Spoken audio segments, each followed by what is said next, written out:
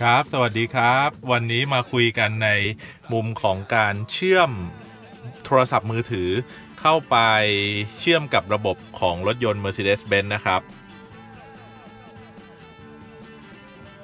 แบบนี้ครับ เนื่องจากว่ารถยนต์ Mercedes-Benz อ่าหลายรุ่น W 2 0 4 W 2 1 2 2 0 5 หรือ W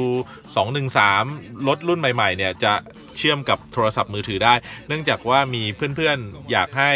ผมเนี่ยค่อยๆทำทีละฟังก์ชันไปนะครับ ก็เลยขออนุญาตเสริมเพิ่มเติมในส่วนของฟังก์ชันที่เป็นการเชื่อมต่อโทรศัพท์นะครับ เราจะเห็นว่าอ่า W 2 0 4เนี่ยจะมีปุ่มคำว่า TEL เนี่ยครับ เหมือน telephone ครับ มันย่อมาจาก telephone เราก็กดไปครับ ก็จะเข้าหน้าต่างนี้ จริงๆแล้วเนี่ยเราสามารถเลื่อนอตัวตัวนี้ครับ สามารถเลื่อนมาที่ telephone นี้ก็ได้นะครับ โดยที่เราจะเชื่อมกับโทรศัพท์ เราก็กดมาที่ตัว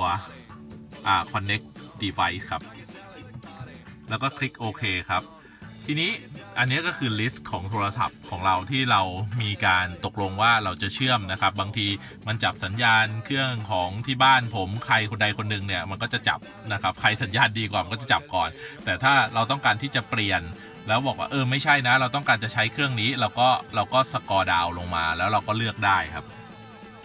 เราก็สามารถเลือกได้ แต่ทีนี้ถ้าเราจะเพิ่มครับ เราก็เข้ามาที่คำว่า search via telephone ครับ ตัวนี้ครับ Search via telephone เนี่ย เป็นฟังก์ชันหนึ่งที่ Mercedes-Benz ทำไว้เพื่อที่จะให้มือถือของเราครับ เราก็เข้าไปที่บลูทูธแล้วเราก็เชื่อม แล้วมันก็จะให้ซิงก์กัน แค่นี้ก็เรียบร้อยครับ โทรศัพท์ของเรามันก็จะเข้าไปอยู่ในลิสต์เราเข้ามาเดี๋ยวชวนทวนอีกรอบนะครับ เข้าไปที่ Search via telephone นะครับ แล้วคลิกโอเคครับ ระบบเนี่ยบอกว่าเขาเนี่ยพร้อมที่จะให้บลูทูธเนี่ย connect นะ คุณเนี่ยสามารถเสิร์ชนะครับเสิร์ชคำว่า MB Bluetooth กับโทรศัพท์ของเราได้เลยครับ ก็เป็นหนึ่งทางเลือกนะครับในการที่เราจะเชื่อมต่อโทรศัพท์ ก็เป็นหนึ่ง